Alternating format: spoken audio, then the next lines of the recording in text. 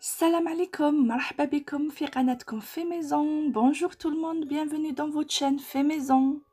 Aujourd'hui, je vous propose la recette des côtelettes d'agneau au four. C'est la recette la plus facile au monde. Allons-y, on va commencer tout de suite. اليوم باذن الله تعالى جبت لكم وصفه لي كوتلات تاع الخروف في الفرن اسهل منها ما كاش والبنه ما نحكي لكمش يلا نبداو حالا في الوصفه تاع اليوم Pour l'assaisonnement, c'est très facile. On met le sel, للتوابل حاجة سهلة بزاف نديرو الملح, le poivre noir, الفلفل الكحل, on met partout. Et le paprika doux والعكري. Je les retourne et j'assaisonne l'autre côté ودوكا نقلبهم ونتبل الجهة الأخرى.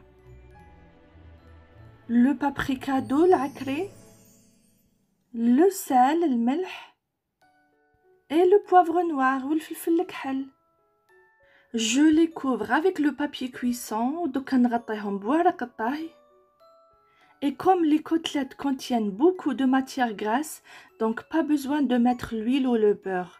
وكيما الكتلات معمرين بالمادة الدسمة ولا المادة الدهنية ما كان نديرو لهم الزيت ولا الزبدة Ensuite, je les couvre avec le papier aluminium ودوكا نغطيهم بورق الألمنيوم. On essaie toujours de ne pas mettre le papier aluminium en contact direct avec la nourriture. نحاولوا دايما ما نلصقوش ورق الألمنيوم مع الماكلة.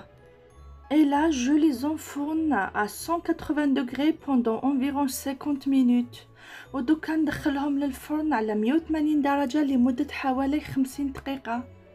Ensuite, je retire le papier aluminium ou l'aluminium.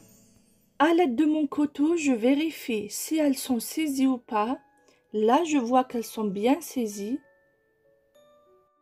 ودوكا بالموس نفيريفي اسكو راهم طايبين ولا لا لا راهم يبانو هايلين طابو ما شاء الله Et si pour vous, elles ne sont pas encore cuites, vous pouvez les recouvrir et les retourner au four pendant quelques minutes وانتوما الا ما راهمش طايبين عندكم تقدروا تعاودوا تغطيهم ترجعوهم الفرن لمدة دقائق Et là, je vais les enfourner pendant 15 minutes à découvert juste pour les griller. ودوكا حنرجعهم للفرن لمدة 15 دقيقة باش نحمرهم ودوكا ما نغطيهمش.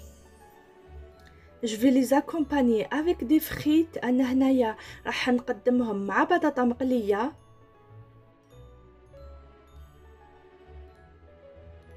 Voici le résultat final de la recette d'aujourd'hui, côtelette d'agneau au four. J'espère qu'elle vous a plu et que vous allez la tester.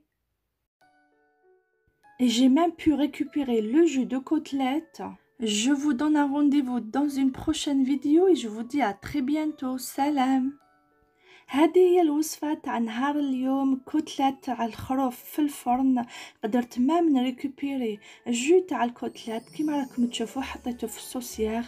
لي كتلات جاو طايبين زبدة. إن شاء الله الوصفة تاع اليوم تكون عجبتكم. إن شاء الله تجربوها. نعطيكم موعد في فيديو قادم. وما عليا غير نقولكم سلام.